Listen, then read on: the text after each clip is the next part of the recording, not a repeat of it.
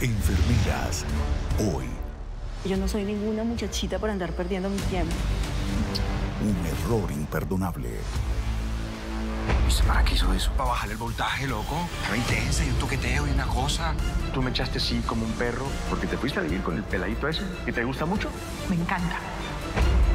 Ojalá yo pudiera volver el tiempo atrás para, para no haber hecho eso. Enfermeras. Hoy. 8 de la noche. Canal RCN.